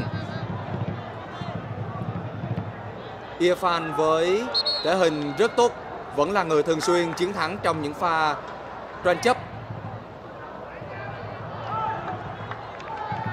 Như vậy là đội trưởng của U22 Singapore đã cần đến sự chăm sóc của nhân viên y tế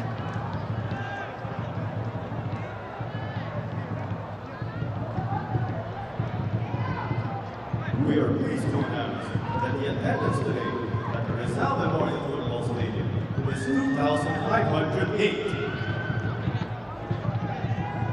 Nếu như Irfan không thể chơi tiếp, đó sẽ là một thiệt thòi rất lớn đối với đồng quân của ông Fandi Ahmad.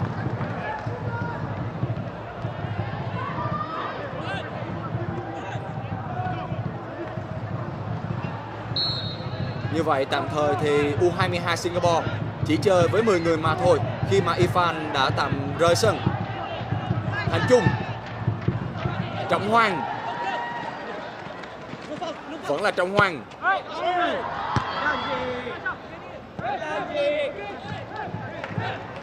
có vẻ như U22 Việt Nam đang từng bước tăng tốc trong lối chơi tấn công.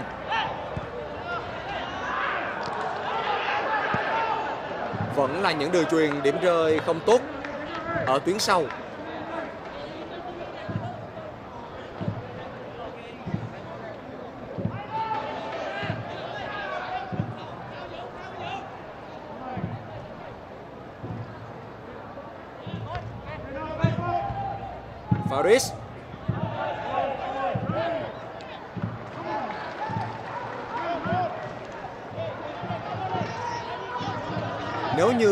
qua được U22 Singapore, thì U22 Việt Nam sẽ có 12 điểm và sẽ có rất nhiều sự chủ động cho trận đấu cuối cùng với U22 Thái Lan. Lần này sẽ là một quả phạt góc bên cánh phải.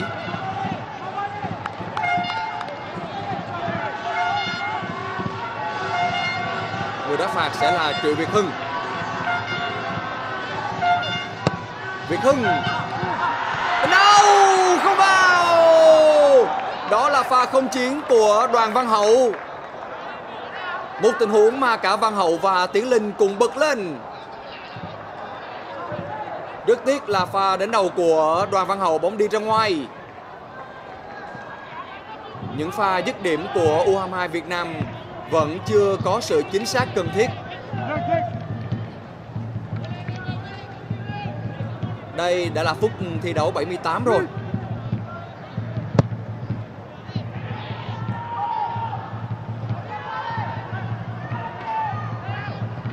Ở trận đấu giữa U22 Thái Lan và Lào thì U22 Thái Lan cũng đã có một trận đấu rất khó khăn, nhưng rồi vẫn giành chiến thắng ở những phút cuối cùng. Thanh Thịnh, nhưng đáng tiếc là pha khống chế bước một bóng lại hơi mạnh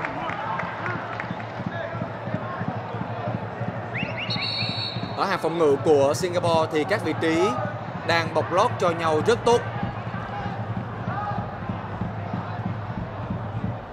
Lần này người bị đau đó là Tajeli. Không, đó là số 12. Siarun.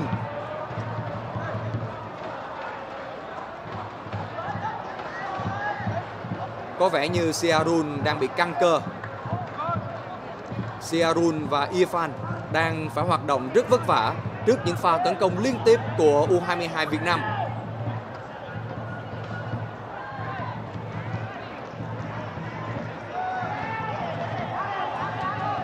Song song với trận đấu này thì trên sân Binan, tỷ số đang là 6-0 nghiêng về cho các cầu thủ U22 Indonesia trước U22 Brunei.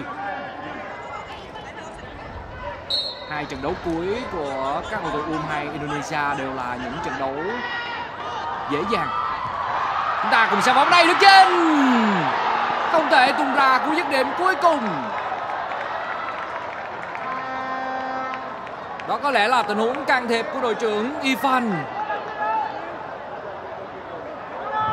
Tình huống phối hợp rất ăn ý giữa Đức Chinh và Tiến Linh.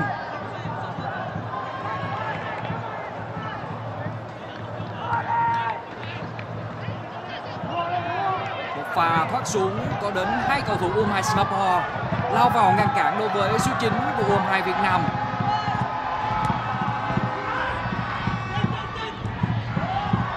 Hùng Dũng. Lại một lần nữa là tình huống can thiệp ban đầu của đội trưởng Ivan trọng Hoàng và lấy bóng của Việt Hưng tiếp tục là trọng hoàng. Văn Hậu. Hoàng Đức. Quyết định xuất xa của Hoàng Đức.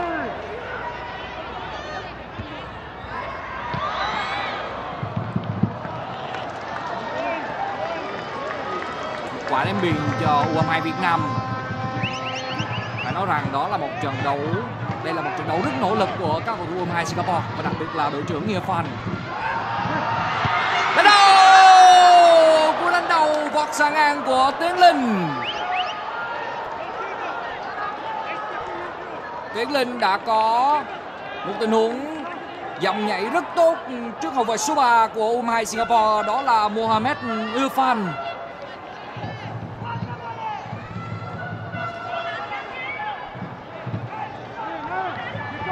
Sóng gió đang tạm thời trôi qua trước khung thành của thủ môn Safan bên phía Indonesia, bên phía U22 Singapore.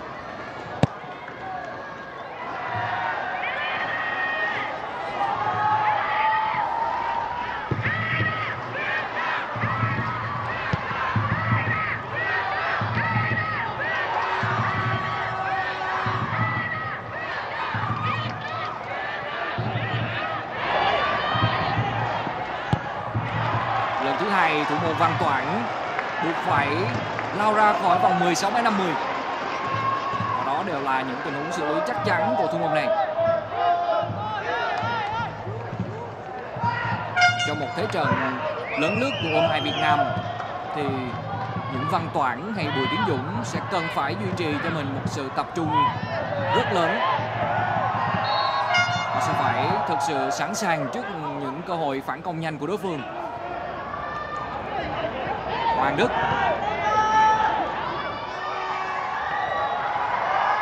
Pha phối hợp giữa Tiến Linh và Hùng Dũng. Đây là Trọng Hoàng. Hùng Dũng. Cú sút. Đó là cú ra chân của Hoàng Đức.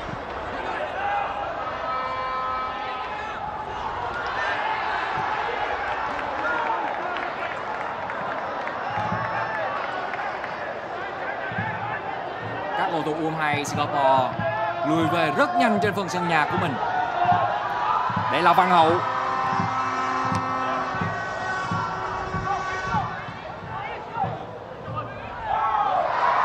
Và các bóng rất kịp thời của Thành Trung. Văn Hậu.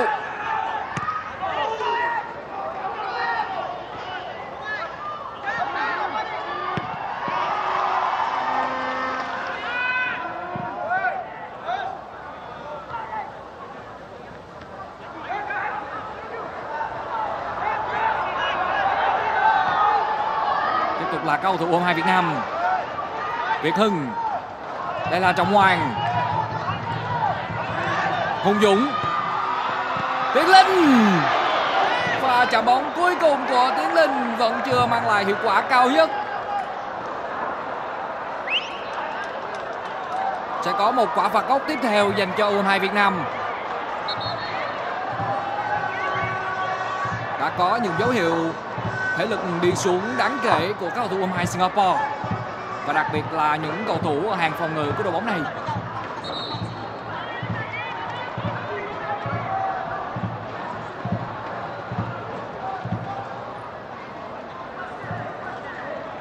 Việc nằm sân ở thời điểm hiện tại cũng là một cách để các cầu thủ U22 Singapore giảm nhịp trận đấu lại.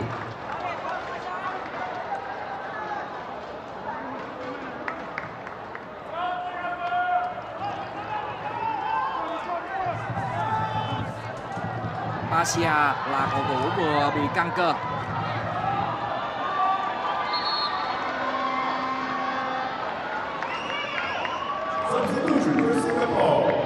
Như vậy là số 16 đó là Muhammad Naquidin sẽ là người vào sân thay cho Basia. Tình huống đá phạt góc. Văn Hậu đưa chuyền. anh. đâu? Goal! Lần này là Hà Đức Chinh và như vậy điều mà tất cả chúng ta chờ đợi đã đến. Phút 85 của trận đấu, Hà Đức Chinh một lần nữa cho thấy dù chiều cao không thực sự là quá nổi trội nhưng điều quan trọng đó chính là chọn điểm rơi, chọn vị trí và Hà Đức Chinh đã mở tỷ số của trận đấu. Người đã có đường truyền ban đầu đó là Đoàn Văn Hậu. Chúng ta cũng thấy là bàn thắng này có kịch bản rất giống với bàn thắng của đội tuyển Việt Nam vào lưới của đội tuyển Indonesia tại vòng loại World Cup 2022 vừa qua. Văn Hậu là người đã xuất hiện ở cột xa và đánh đầu trả bóng vào trong. Chỉ khác biệt ở chỗ người dứt điểm thành bàn bây giờ là Hà Đức Chinh. Bàn thắng thứ năm từ đầu SEA Games 30 của tiền đạo máu số 9 của Mai Việt Nam đến vào thời điểm rất quan trọng Cuối cùng thì những nỗ lực của các học trò huấn luyện viên Park Hang-seo đã được đền đáp xứng đáng. Rõ ràng chúng ta không hề e ngại đối phương có lợi thế hơn về mặt thể hình, hoặc có những trung vệ có chiều cao tốt. Nhưng U22 Việt Nam đã tìm ra được ánh sáng từ một tình huống không chiến. đó cũng chính là những điểm mạnh mà chúng ta thường thấy từ Hà Đức Chinh không ít lần tiền đạo này có những bàn thắng rất quan trọng cho U22 Việt Nam. Chúng ta một lần nữa được xem lại quả đá phạt góc về phía xa của Triệu Việt Hưng dành cho Văn Hậu. Thủ môn Zafan đã chạm được đôi tay vào bóng, nhưng chừng đó là không đủ để tránh khỏi bàn thua cho các cầu thủ U22 Singapore. Và một lần nữa chúng ta lại phải ngã mũ thắng phục của luyện viên Park Hang-seo. Dưới thời của ông thì cho dù gặp bất kỳ khó khăn hay là thế bất lợi nào, đội tuyển Việt Nam các cấp vẫn chơi một cách bình tĩnh, rất kiên định với lối chơi của mình và luôn tìm ra chiếc chìa khóa để mở trận đấu. Phút 85 của trận đấu, điều mà chúng ta đã chờ đợi quá lâu, sau cùng cũng được đền đáp. Hà Đức Chinh Hoàng Đức Bây giờ thì tâm lý của hai Việt Nam sẽ rất thoải mái Vẫn là Hoàng Đức Triệu Việt Hưng, Và đã từ xa Một cú vuốt bóng bằng chân trái từ xa của Triệu Việt Hưng. Mé một chút nữa thôi thì tỷ số đã là 2-0 Đúng là khi tâm lý thoải mái thì U22 Việt Nam đang chơi rất bùng nổ. Một tình huống dâng cao của Triệu Việt Hưng. Và cùng với đó là một cú vuốt bóng bằng chân trái, đầy cảm giác. Ba điểm đang đến rất gần với U22 Việt Nam. Hoàng Đức, bây giờ thì Hoàng Đức đang là người chơi gần nhất với Hà Đức Chinh và Tiến Linh. Thanh Thịnh vẫn là Hoàng Đức tiếp tục là những pha xử lý rất cơ bản quá đáng tiếc cho pha băng vào của Hà Đức Chinh Hà Đức Chinh đã băng vào chậm hơn một nhịp nếu không thì có lẽ đã có thêm pha dứt điểm của của hai Việt Nam. Một đường truyền rất khó chịu của Hoàng Đức. Ở những phút vừa qua của ep 2 mà chúng ta đã theo dõi thì số 14 Hoàng Đức mới chính là người đóng vai trò kiến tạo lưới trời của U22 Việt Nam. Mọi đường lên bóng của U22 Việt Nam đều qua chân của Hoàng Đức khi mà Quang Hải đang không có mặt ở trên sân thì vai trò của Hoàng Đức lại càng trở nên nổi bật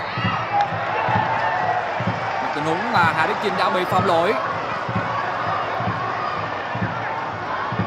Hiện tại thì U22 Indonesia cũng đã có bàn thắng thứ 8 vào lưới của U22 Brunei. Nhưng có lẽ chúng ta cũng không quá quan tâm đến kết quả của trận đấu giữa Indonesia và Brunei. Chúng ta đang có được, các học trò của Việt Văn Sợ đang có được một kết quả rất thuận lợi trận đấu đã bước sang phút thứ 90 và 3 điểm đang gần như sẽ nằm trong tay của U22 Việt Nam.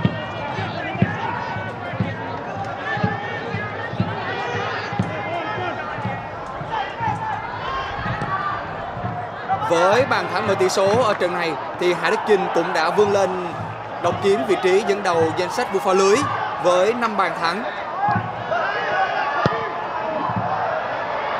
Tình huống truyền bóng từ rất xa của Siarun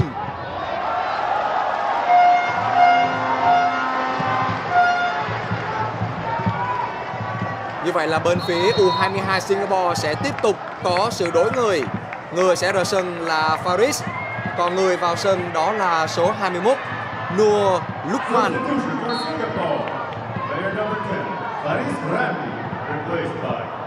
Trước khi trận đấu giữa U22 Việt Nam và Singapore diễn ra thì tiền đạo Sufanas của Thái Lan cũng đã có 4 bàn. Tiến Linh Như vậy là thời gian cộng thêm sẽ là 3 phút. 3 phút cho những nỗ lực giữ thành quả của U22 Việt Nam. Nhưng chúng ta sẽ cùng tiếp tục trong đợi vào bàn thắng thứ hai. Tiến Linh, Trọng Hoàng. Vẫn là Tiến Linh. Hùng Dũng. Và đi bóng của Hùng Dũng đã không thành công. Nếu như tỷ số này được giữ nguyên, Thì U22 Việt Nam vẫn sẽ là đội duy nhất toàn thắng tại SEA Games lần này Hùng Dũng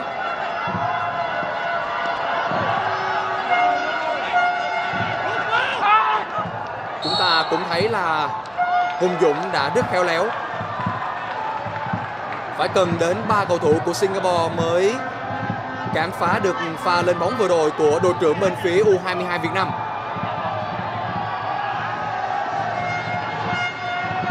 Thêm một quả phạt góc và lần này, người thực hiện là Hùng Dũng. Tâm điểm vẫn sẽ là Đức Chinh hay là Thành Trung, mà cũng có thể đó là Tiến Linh. Đâu? Vẫn là một tình huống hướng đến vị trí của Đoàn Văn Hậu.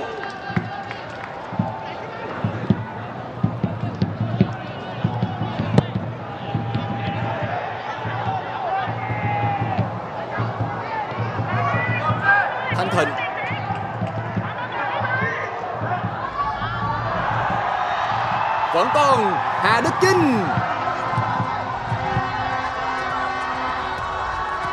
Vẫn là Hà Đức Chinh Những tình huống mà Hà Đức Chinh hay là Đỗ Hùng Dũng đang giữ bóng trong chân rất chắc chắn Đây đã là phút thi đấu cuối cùng của trận đấu và U22 Singapore cũng có sự đổi người cuối cùng. Joshua Pereira là người vào sân để thay cho Stewart.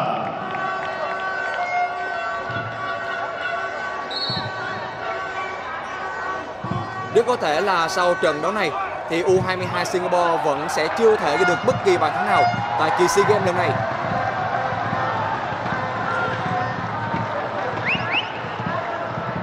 vẫn còn rất nhiều việc mà ông Fadi Ahmad cần phải làm để giúp cho bóng đá trẻ của Singapore có một tương lai tươi sáng hơn ở trong thời gian tới. Hoàng Đức, những giây cuối cùng rồi, vẫn là Hoàng Đức Thanh Thịnh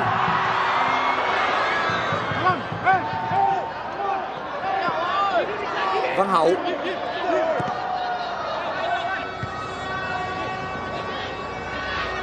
Trọng Hoàng. Và đúng lúc này, Đúng lúc này tiếng còi của trọng tài ông Oscar Nani đã vang lên. Bàn thắng duy nhất của Hà Đức Chinh đã mang về trọn 3 điểm, Trọn 3 điểm cho ông hai Việt Nam. Một trận đấu dù khó khăn, Nhưng cuối cùng các cầu thủ trẻ của chúng ta cũng tìm ra cách để xuyên phá được khung thành của Zafan như vậy thì U22 Việt Nam vẫn sẽ có một thành tích hoàn hảo sau 4 trận đấu đó là 12 điểm tuyệt đối và chúng ta đã có một bước chuẩn bị đầy chủ động cho trận đấu cuối cùng với U22 Thái Lan. Và ngay bây giờ thì chúng ta sẽ cùng đến với phần bình luận sau trận đấu với biên tập viên Tuấn Lâm cùng hai vị khách mời.